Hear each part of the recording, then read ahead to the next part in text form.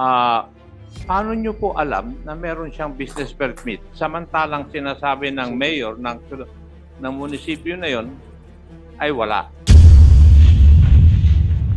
Ah, sa barangay ko po yon, ah, Mr. Chair, kasi Teka, teka, teka, hindi mo ako sinasagot eh. Sagutin mo muna yung tanong ko bago ako magtatanong uli. Ang trabaho mo ngayon dito ay sumagot po sa aking katanungan. Ah, ang alam ko po kasi Hindi, hindi. Eh, sagutin mo yung tanong ko. Eh, umiiwas ka kagad eh. Lumalapag ka na to sa iyong jurisdiction eh. Ah, kapitan.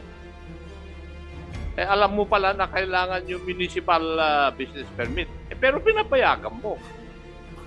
Hindi po ba may may problema ka na doon?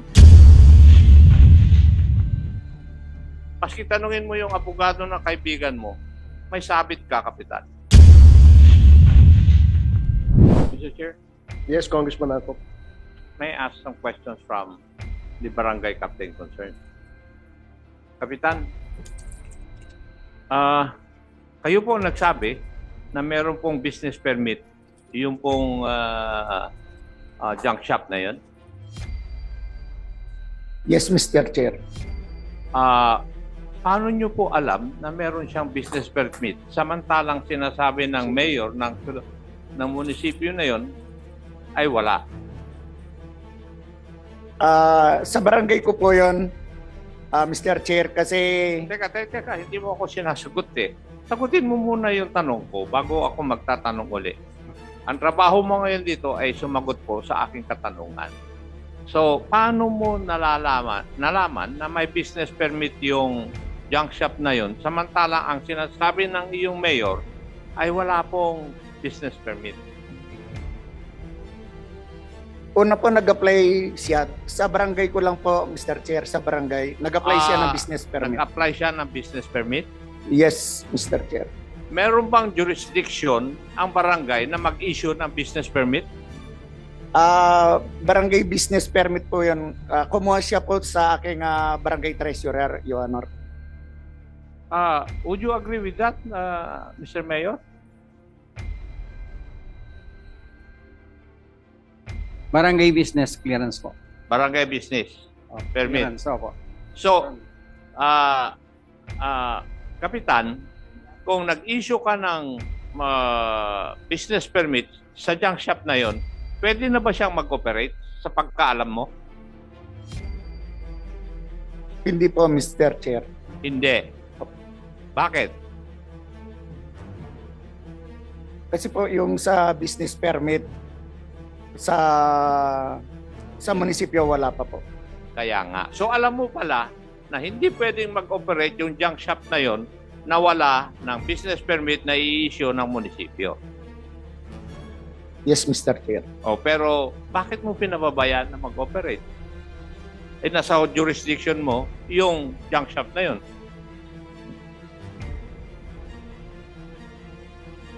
Ah, ang alam ko po kasi Hindi, hindi.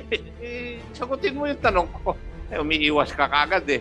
Ang tanong ko sa iyo, bakit mo pinapayagan na mag-operate yung isang junk shop samantalang wala pa alam mo na kailangan may municipal ah, business permit na issue. Nasa jurisdiction mo, porket binigyan mo ng barangay permit, pinababayaan mo na mag-operate. Eh, alam mo na hindi dapat. Ang alam ko po, Alam mo Mr. naman pala yung patas eh. Sa pagsasagot mo, na, na nakikita ko po yun. Oh, bakit mo pinapayagan? Eh alam mo pala na hindi pwedeng mag-operate na wala yung business permit ng munisipyo. O ano? Kanina, ang lakas-lakas ng boses mo sumagot eh. Ngayon, tinatanong ko sa iyo, ano ang karapatan mo na pumayag na mag-operate yung ah, junk shop na yon? Ang alam ko po, Mr. Ay, hindi, Chair, hindi yung alam mo ang kwan. Ang alam mo, yung batas. Dapat ang masunod. May karapatan ka ba o dapat mo hindi pag-operatein yung junk shop na yon?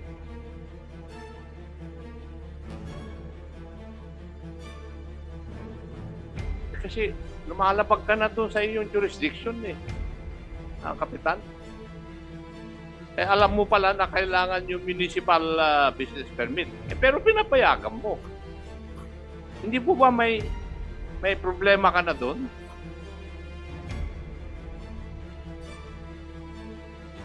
Paski tanungin mo yung abogado ng kaibigan mo, may sabit ka, kapitan. Di ba? Maraming salamat, Mr.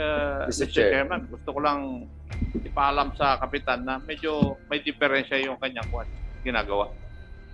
Thank you, uh, Congressman Akop. Um, yes, uh, Hindi, Congressman. nadigdag lang ako. Medyo, uh, ngayon ko lang naintindihan yung issue. Hindi ko siya masyado naintindihan kanina.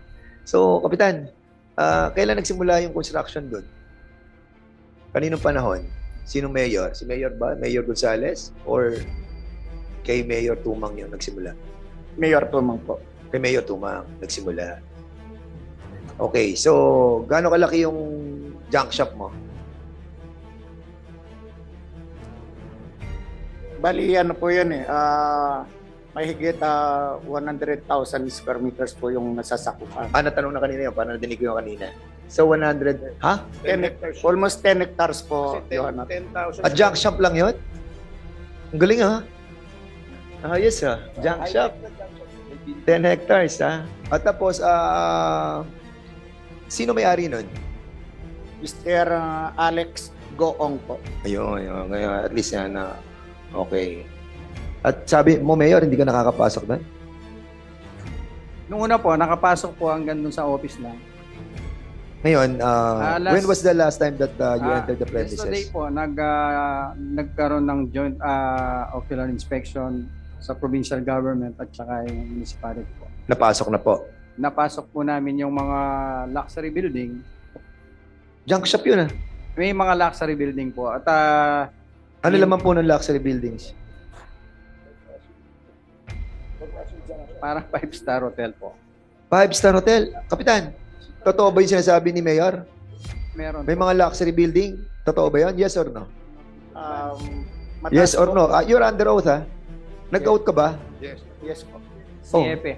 Ganda mong sagot. Ganda mong sagot. May mga luxury buildings sa tulad ng sinasabi ni Mayor. Isang, pag hindi, pag sinagot mong hindi, si Mayor ang nagsisinungaling, siya ang pa-contempt namin. Kapag ikaw nagsinungaling, ikaw, ikaw naman pa-contempt namin. So may mga luxury buildings ba doon? Wala po. Wala. So nagsisinungaling si Mayor. Bali ano po, hindi na ma- kung nasabi po ni Mayor namin na luxury. Ano po, residential although hanggang 5 floor po kasi yo yo Ay, kala ko junk shop yun. Oh. So kanina junk shop, ngayon luxury, ano naman, parang fifth floor, ganyan. So ang junk shop mo, floor by floor. Ano mga dinadala mo sa junk shop mo? ano po yung mga kalakal yung nakikita kong dinideliver po. So lahat ng floors na yon, doon mo nilalagay yung mga ano, yung mga kalakal. ano po, um, pero po doon sa building na residential niya, O pero may building doon at doon mo nilalagay yung mga nakukuha mo kalakal. Hindi po bali sa warehouse po. Bali nandito yung building tapos yung mga warehouse nasa loob din po ng compound. Pero may mga buildings sa pinagawa si Mayor Tumang doon. Di ba? Yes or no? yung may-ari po ng ano siya po yung nagpagawa. Yung may-ari ng ah, business doon, Mr. Alex Goong. If, if I may. Oh yes, uh, Congressman Mr. Chair.